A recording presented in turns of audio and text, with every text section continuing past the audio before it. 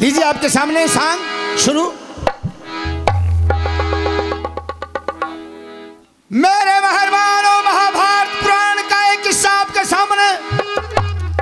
महाभारत के वन पर्व वन पर्व में पाँचों पांडव छठी द्रौपदी वनवास को चले जाते हैं बारह साल का दिशोटा काटने के लिए।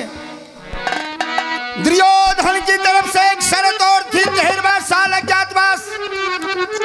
अगर अज्ञातवास एक साल में कहीं भी मिल जाओगे तो तुम्हें बारह साल का दिशोटा पुनः मिल जाएगा। मेरे मेहरबानों बार बार बारह साल पूरे होने को है तेरहवा लगने को है। पाँचों पांडव द्रौपदी वन में बैठ करके रोने लग जाते हैं। हे परमात्मा, हम या ज्ञातवास कहाँ निकालेंगे? कहाँ जाएँगे दुर्योधन के सिपाही हमें सूंघते फिर रहे ढूंढते फिर रहे।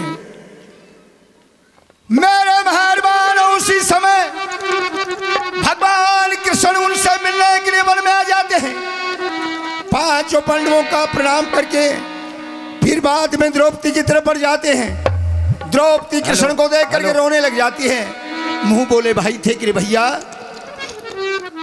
आज तक इस पृथ्वी पर मेरे समान कोई स्त्री दुखिया नहीं हुई होगी? एक रोज युधिष्ठर रोया था भगवान कृष्ण के सामने कि मेरे जैसा अन्यायी राजा यहाँ पैदा नहीं हुआ होगा। उस समय भगवान कृष्ण उनको वृद्धस्व ऋषि के आश्रम में लेकर गए और वृद्धस्व ऋषि ने युधिष्ठर का युधिष्ठर की सन से दूर करने के लिए उनको नल दमयंती की कथा सुनाई थी। आज द्रौपदी रो रही थी कि मेरे समान कोई दुखिया स्त्री पैदा नहीं हुई होगी। उसे लेकर के मारकंड ऋषि के आश्रम में जाते हैं। और मारकंड ऋषि से बताते कि महाराज, ये द्रौपदी कहती है कि मेरे समान कोई दुखिया स्त्री पैदा नहीं हुई होगी। मारकंड ऋषि अपने चरणों में बिठा लेते हैं द्रौपदी को। भगवान कृष्ण पाँचों पाणों भी बैठ जाते हैं। मारकंड ऋषि चालू करते हैं कथा की बेटी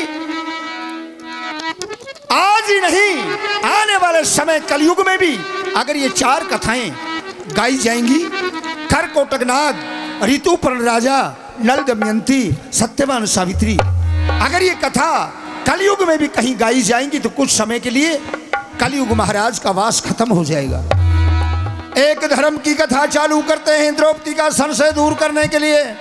क्या बेटी, सर्वदेश जहाँ के राजा, धुमतसेन धुमतसेन महाराज का धुमतसेन महाराज की रानी, जिसका नाम सभ्या।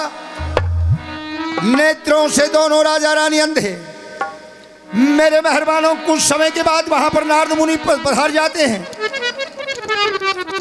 मेरे मेहरबानों, नारद मुनि के आगमन से दोनों राजा रानी उनकी पूजा अर्चना करते हैं। उसके बाद में रोने रानी रोने लग जाती, क्या महाराज, हम निपुत्र ही दुनिया से चले जाएँगे? नारद मुनि के आशीर्वाद से एक लड़का पैदा होता है नौ दस मास के बाद, जिसका नाम निकाला जाता है सत्यवान। आपके सामने सत्यवान सावित्री की धर्म कथा मेरे मेहरबानों, कुछ समय बाद जब वो लड़का दस बारह साल का हो जाता है, उसी दरबार में एक मंत्री जिसका नाम चोन राय राज्य पर गलत नज़र हो जाती है, क्यों ना राजा रानी को खत्म कर दिया जाए? राजकुमार को खत्म कर दिया जाए और इस राज्य पर कब्जा कर लिया जाए। रानी सभ्या के इन ये बात कानों तक पहुँच जाती है। राजा और राजकुमार को पास बुला करके बताती है कि महाराज, हमारा चोट राय मंत्री हमें मारना चाहते हैं। राजकुमार को लेकर के और महल के सुरंग के रास्ते से वन में निकल जाते हैं। यहाँ से कथा चालू होती है। एक बार सभी जय का नारा, भूमि पवित्र आत्मा की शुद्धि। सभी जय का नारा लगाएँगे।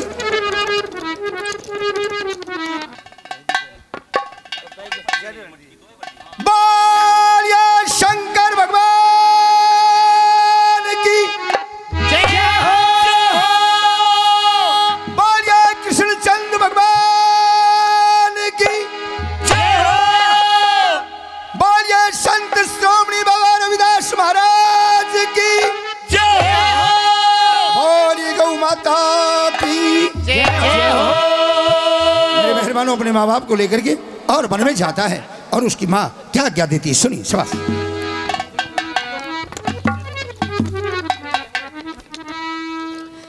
बस महाराज बस छोड़िए ने- अपनों का। महाराज! आंधी महाराज नमस्कार। हाँ नमस्कार क्या बात है? आपको मालूम होना चाहिए। क्या? अपने छोरे सत्यवान को बुलाओ और उन्हें समझाओ। इधर आओ। हाँ। ओहो। उरे ना आओ। ये स- अंधे हाँ। ये है हमारा सामने। छोरा। बेटे सत्यवान। मैंने कहा पिताजी को प्रणाम। चिरंजीव रहो बेटे। अंधे मैं सू। पिताजी ये तो मेरी माँ का सर है। हाँ। मैं हूँ इधर। पिताजी। हाँ बेटे। आपको वन में लेकर के आ गया हूँ मैं। और अब मुझे बताइए उसे क्या करना चाहिए? बेटे कहो। आप जंगल बियाबान में तो ले आए हो। यहाँ पर हमारे खाने पीने रहने सहने ठहरने का प्रबंध करना है। और प्रबंध किस प्रकार से करना है? आप एक राजा के बेटे हो। जी। आप एक अच्छे परिवार से हो। आपने अच्छी तालीम पाई है। बेटे परवरिश इस प्रकार से करना है कि कभी किसी का आपके ज़रिए से दिल ना दुखे और तुम्हारे खानदान पर कोई कालिश ना पोती जाए और तुम्हारी माँ तुम्हारे को बेटे समझा देगी। अंधे हमारा छोरा बहुत समझदार है। ठीक है आप हाँ। आराम करो बैठो। मैं समझाती हूँ। माता जी हाँ छोरे सत्यवान। कहिए कुछ कहना चाहती हैं आप? आप बियाबान जंगल में आ चुके हो। हाँ हाँ। लेकिन इस बियाबान में गुजारा कैसे होगा? कैसे होगा माता जी वो मैं आपको चार बात में समझाऊ। बताइए। क्या करना है? बस।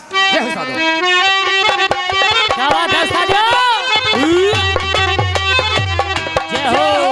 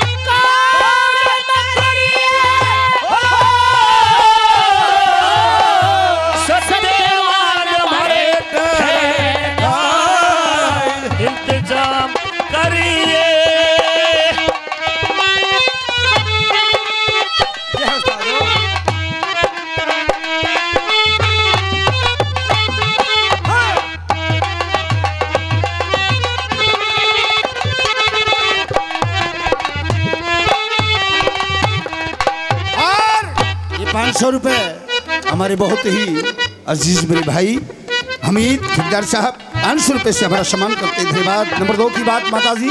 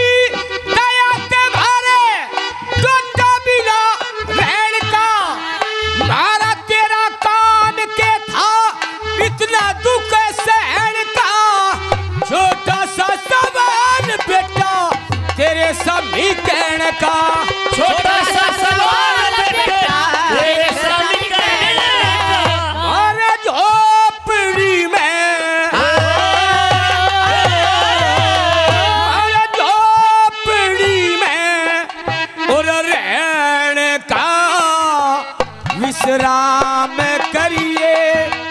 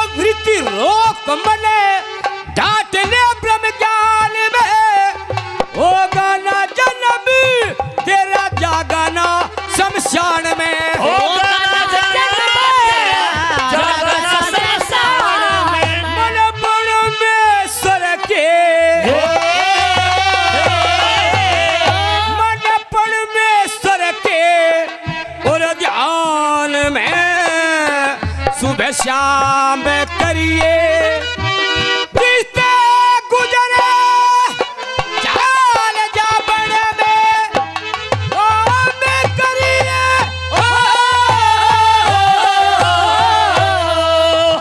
नंबर चार में क्या बताया माता जी आपने गुरु चंद्र लाल सुरती लाल ये भगवान में पाँचों वृत्ति रोग कमन डांट ले ब्रह्म ज्ञान में होगा ना जन्म तेरा जागा ना शमशान में अगर तुमने कहा वैसा मैंने किया जी हाँ तो मृत्यु और जीने के चक्कर से मैं दूर हो दूर हो जाओगे।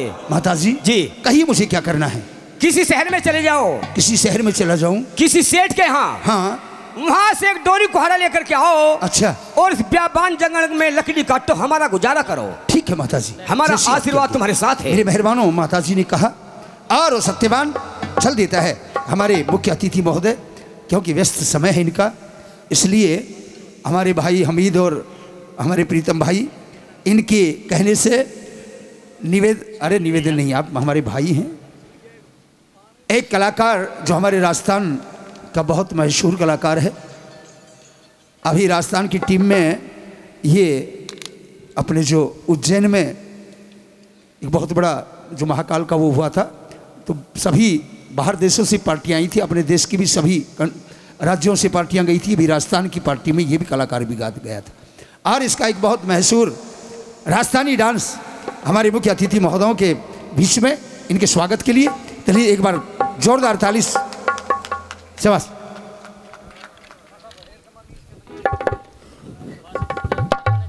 लीजिए मेहरबान आपके सांग सामने, फिर सांग में आ जाइए। बहुत बहुत धन्यवाद हमारे सांसद साहब का, जिन्होंने छोटे से बुलावे पर आकर के और हमारा मानव सम्मान किया। हमारे समिति के प्रधान मेरे बहुत लाडले भाई प्रीतम बौद्ध। पाँच सौ रुपये से अपने बच्चों का सम्मान करते हैं बहुत बहुत धन्यवाद और बहुत ही महान कवि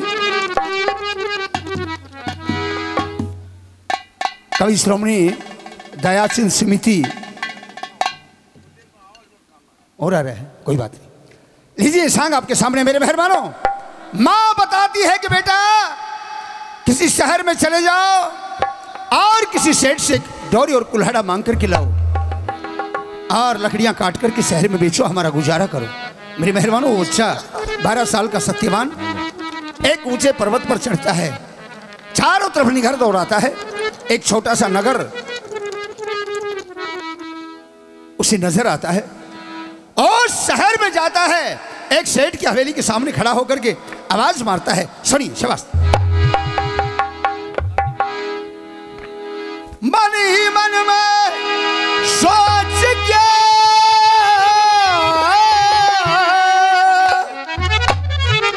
गैर जरा सिलांगरी सत्यवान सेठ की हवेली कधोर पहुँच गया। मैंने कहा लाला जी। सिटानी जी लाला जी। सुने है रामचंद्र की माँ? हाँ बोलो पुष्पा के बापू। वो बाहर देख कौन आ रहा है? मैं नहीं जाती नाच गए बीरबानी का झाड़ झाड़ बेरी हुआ करे।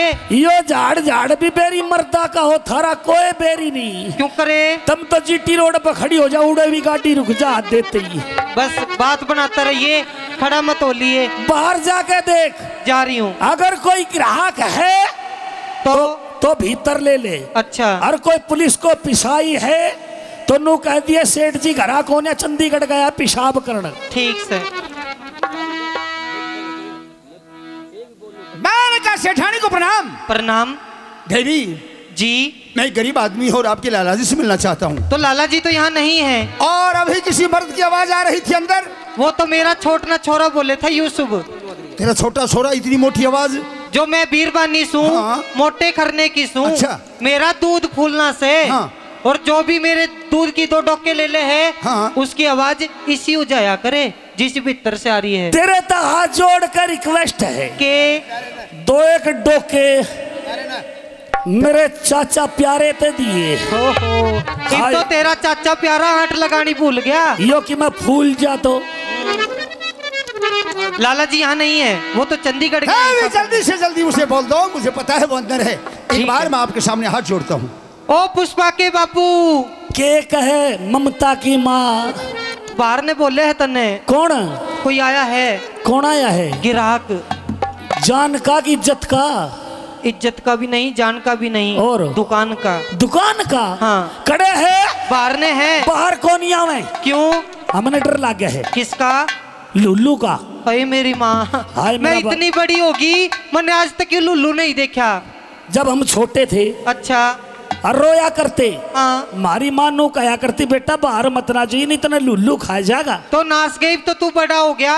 वो लुल्लू नहीं बड्डा होया होगा। चल बात तने बनाने लग रहा खड़ा हो ले आजा बाहर ने। अच्छा? हाँ। लेकिन मैं कहना चाहे है। ना को नहीं कहूँ। अच्छा आजा। चलो। बस। कड़े है। बाहर ने। गाम तो बाहर है करते। करते। जी को प्रणाम। चोर चोर ओ लाला जी। सितानी चोर। नाच गए चोर की के पहचान होया करे। लंबा लंबा पैर इसका पाट्या पाट्या तोर यो ही चोर का चोर। नहीं। लाला जी मैं चोर नहीं हूँ। और? मैं एक गरीब आदमी हूँ। गली से तो जोड़ में नहा। अरे गलीच नहीं। और? कंगाल आदमी हाँ, कंगाल का मारे धोरे के काम। लाला हाँ। मैं आपके पास मदद मांगने के लिए आया हूँ। हाँ, कैसी मदद? एक डोरी और कुल्हाड़ा। पक्का चोर। क्यों करे? डोरी दबन धगर कुहाड़े तक काटेगा लाला हाँ। ऐसा नहीं। आपको डोरी कुहाड़ा चाहिए? हाँ। पैसे हैं? लाला मेरे पास पैसे नहीं। ये धर्म खाते की दुकान नहीं। है मैंने दुकान खोल रखी कोई धर्मशाला नहीं खोल रखी है। अगर आपके पास पैसे नहीं है हाँ। तो ये जो शाही पोशाक है इसको गिरवी रख दो। ए लाला। गए सर्दी का टाइम है मारेगा छोरे जाडे में। काटो लाला। हाँ। मेरे पर रहम कर ले। बिल्कुल नहीं करूँगा दुकानदारी का काम है साँझ ने घर आज इतना पाटे और कुर्ता दे दूँगा। क्या कपड़ों के बदले में डोरी और कुल्हाड़ा दोगे? बिल्कुल। तो मेरी बात सुन। बताइए। बस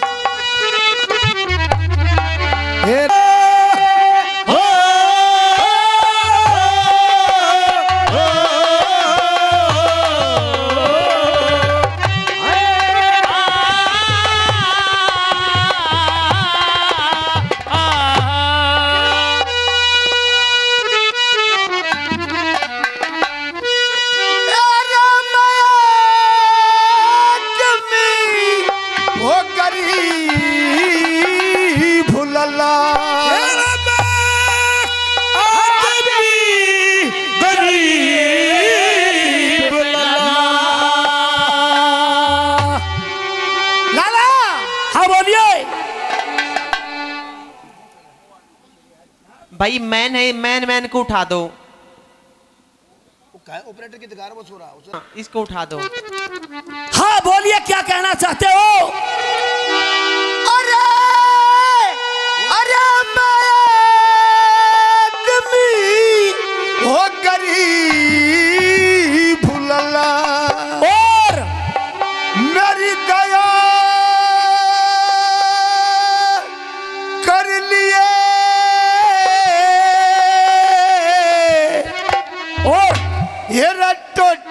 में दुखिया के लते लगन धर लिए।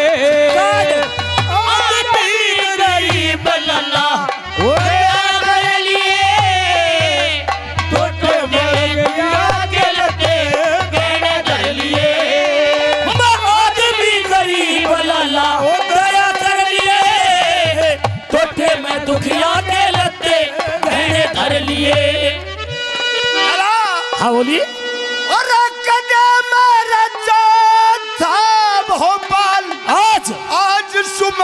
पैसे कंगाल। ओ,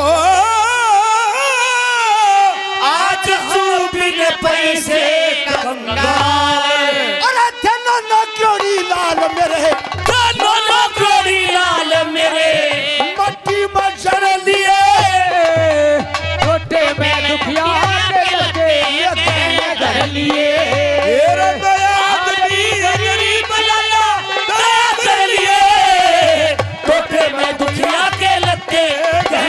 लिए। लाला हाँ बोलिए। भवन में। और? और आनंद करया करे थम धन मो। आनंद करया करे और? लाला आज अगर मैं अकेला होता ना हाँ हाँ। तो मैं तेरी द्वार पे मांगने के लिए नहीं आता। आपके साथ कोई और है और हमरे मात पिता भोजन बिन बन में। माता पिता भोजन बिन बन में। अरे मात पिता भोजन बिन बन में। मेरे भूखे मर लिए। छोटे में दुखिया के लगे तू गहने धर लिए। आदमी गरीब लाला दया कर लिए। छोटे में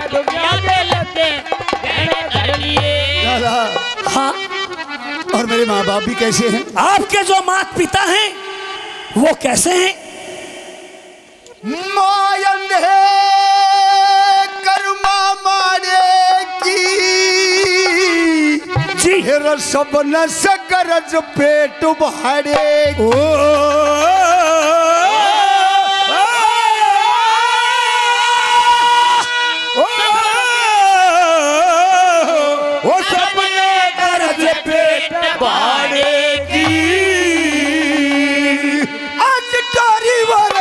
कुल्हाड़े की।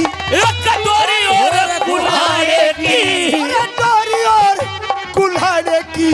तू हम भी भर लिए। में दुखिया तू कहने धर लिए। अरे आदमी गरीब लला दया कर लिए। छोटे में दुखिया के लते कहने धर लिए। साज बिन हाँ हाँ। साज बिन कदो तीरीज नहीं। है। और अरे कार्य होता बिन बीज नहीं।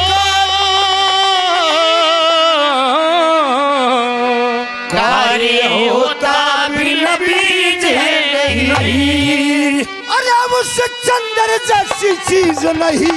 चंदर जैसी चीज़ नहीं। चंदर जैसी चीज़ नहीं। ये दुनिया में फिर लिए। अरे टोटे में दुखिया के लते कहने धर लिए। आदमी गरीब लाला दया कर लिए। छोटे में दुखिया के लते कहने धर लिए। लाला साज बिन होती रीज नहीं। कार्य होता बिना बीज नहीं। उस चंद्र जैसी चीज़ नहीं चाहे दुनिया में फिर लिए हाँ। टोटे में दुखिया के लत्ते गहने दर लिए तो नाच गई। दे दे नहीं तो तन्ने इसके कपड़े भी उतरवा लिए। ठीक है। आप कुहाड़ा और डोरी ले जा सकते हो। पर यह बताइए आप रस्सी का और कुहाड़े का क्या करोगे? वन में लकड़िया साहिब वन में लकड़ियाँ काटूँगा। और शहर में बेचूँगा अपना और अपने माँ बाप का पेट पालूँगा। तो ठीक है। आप हमारे घर पर लकड़ियाँ डाल जाना आपको भरपेट भोजन मिल जाएगा। ठीक है। मेरे मेहरबानों लिए और अपने लिए भोजन ले जाता है। मेरे मेहरबानों छह वर्ष बीत जाते हैं। अठारह साल का नौजवान हो जाता है। एक दिन एक पेड़ पर चढ़ता है। कुछ कपड़े थे बचे हुए शरीर पर। एक सूखी लकड़ी कपड़ों में गिलती है और ठेठ से लेकर ठेठ तक कपड़े फट जाते रोने लग जाता है, बदन झड़कने लग जाता है, नंगा हो जाता है पेड़ पर चढ़ा है, रोने लग जाता है। अरे सत्यवान, क्या था तू एक राजा का राजकुमार? आज इस किस्मत ने तुझे कहाँ पहुँचा दिया? मेरे मेहरबानों, रोता हुआ, उस मालिक को याद करता हुआ, अपने इतिहास को याद करता हुआ, तू क्या था और क्या बैठा बैठा गा रहा था, क्या रो रहा था, कैसे?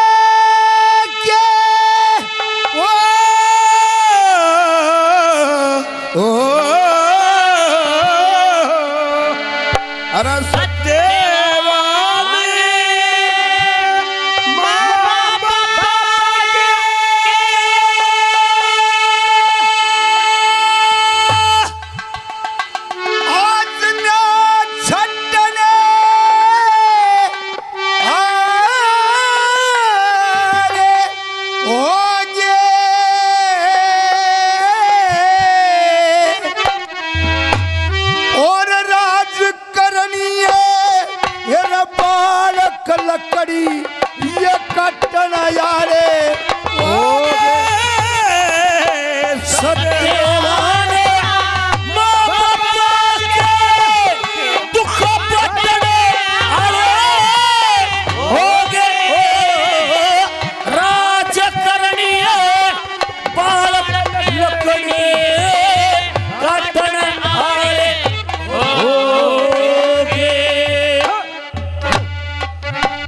जय हो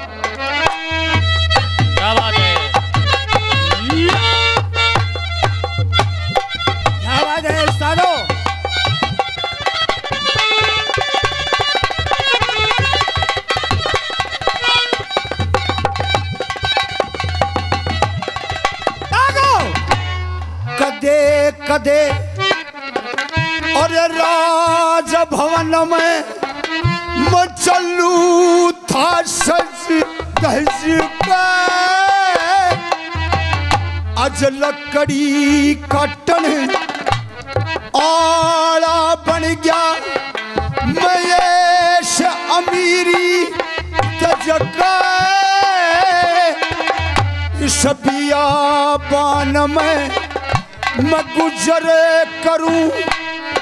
एर नाम ओम का भजप रेशम के लते मेरे पाठ गए। रजाया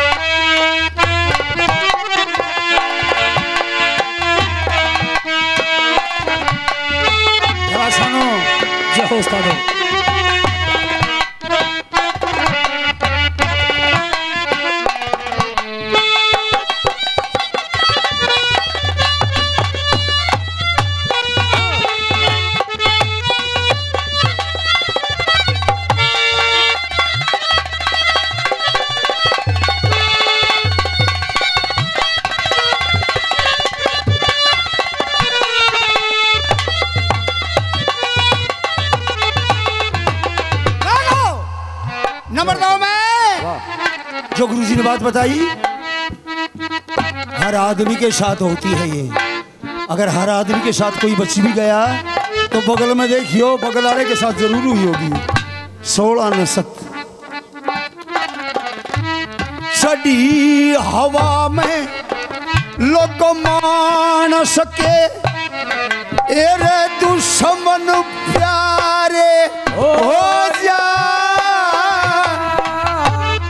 बेगड़ी में। लोगो जब आवाज़ है मानस की, आवाज़ है मानस की, चल गाँव के गुआंड के दस कोस परे का हो, और वो राजस्थान में चला जा नू पूछ ले कोई, भाई, रमेश कौशिक साहब ने जाना है। नू कहा मेरा भाई है सगे।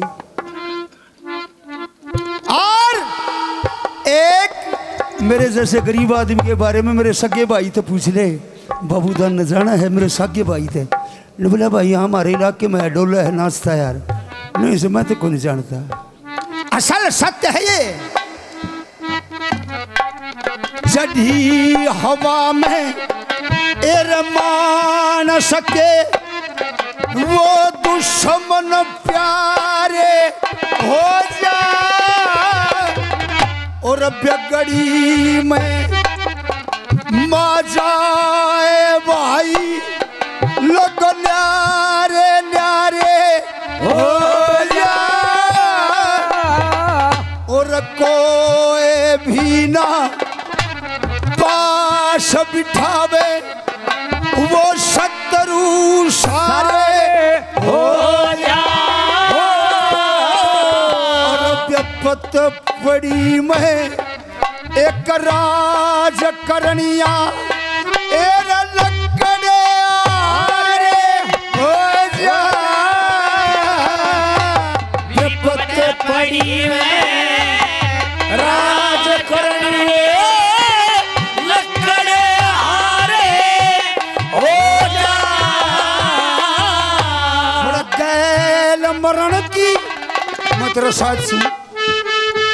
मैं तेरे साथ छू मरेगा जीवेगा उड़ा तेरे साथ छू।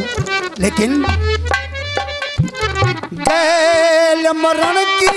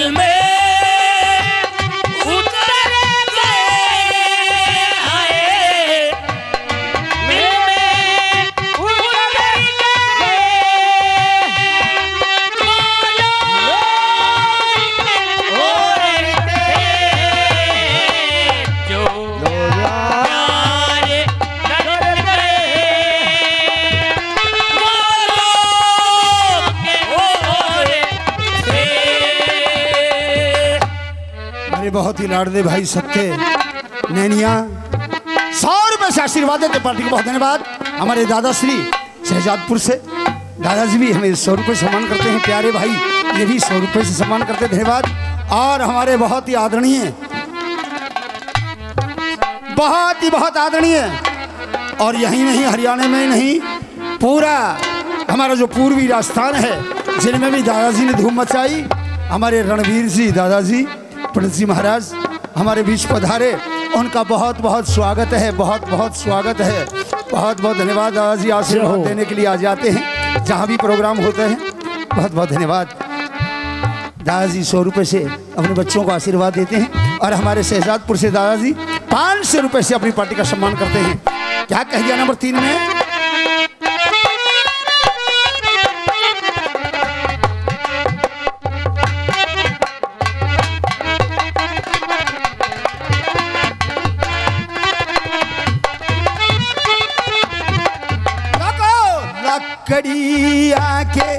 और हमारी रिकॉर्डिंग कर रहे हैं। मेरे बड़े भाई, मेरे से बड़ा लाड करते हैं, आशीर्वाद देते रहते हैं।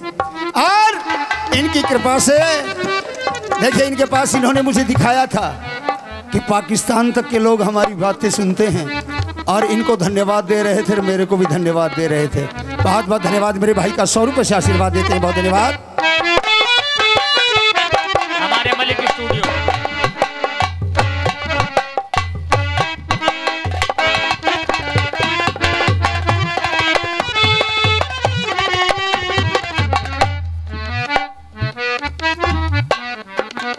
क्या बात है? और मेरी माता जी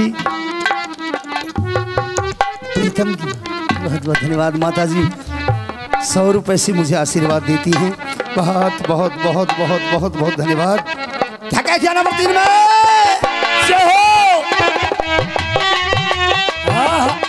क्या कह रहे उस्ताद?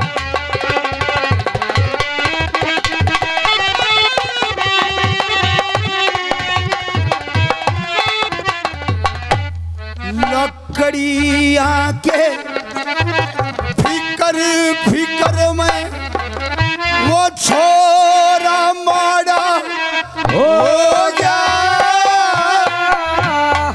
मैं लकड़ी काटू अककर ने संभालू, पतको डपवाड़ा हो गया।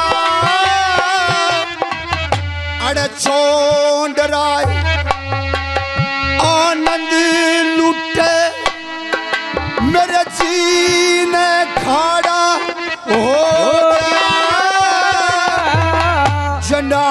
में तलवार सजे थी।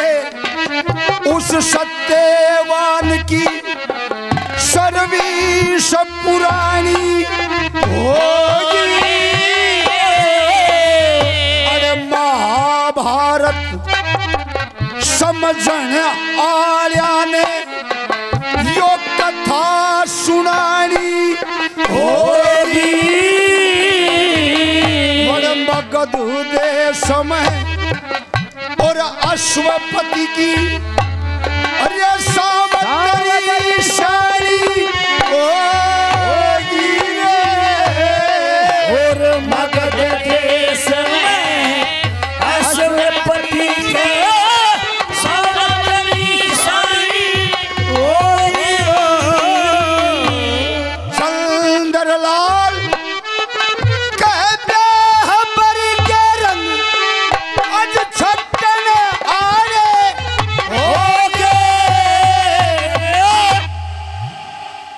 के अनुसार कंवर की डबल कहानी होगी। रहते, सहते, सत्यवान की सर्विस पुरानी होगी। अरे महाभारत समझन आला ने ये महाभारत पुराण का प्रमाण है। नल दमयंती और सत्यवान सावित्री, ये महाभारत के ही प्रमाण हैं। महाभारत समझने वाला ने कथा सुनानी होगी। लोगों बड़े मगध देश में अश्वपति की सामत्री शानी होगी। इधर राजकुमार अपने विपत्या के दिन काट रहा है। इधर अश्वपति महाराज की लाडली। इकलौती संतान, वो सावित्री नौजवान हो जाती है। नाई और ब्राह्मण पूरे देश देशांतरों में घूम आते हैं, लेकिन कोई जोड़ी का वर नहीं मिलता है। आखिर, आज सावित्री, अपने पिता अशुपति से आज्ञा लेकर स्वयं अपना जोड़ी का वर टोहने के लिए और चल देती है देश देशांतरों में घूमने के लिए। सुनिए, किस तरह से वो चलती है और कैसे? हमारे महाशि जी दयानंद दयाचंद जी प्रचारक समिति, हमारे बीच सभी जगह आते हैं। मेरे भाई और सभी जगह मुझे लाड प्यार करते हैं, मेरा सम्मान करते हैं। मैं इनका बहुत बहुत धन्यवाद करता हूँ। अपने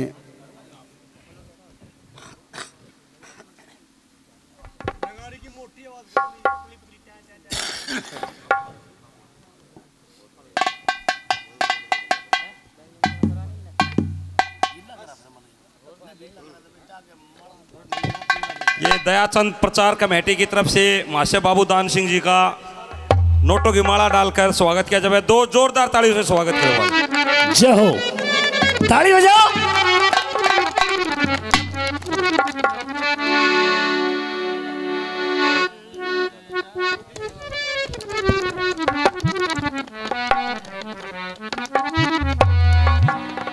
हेलो।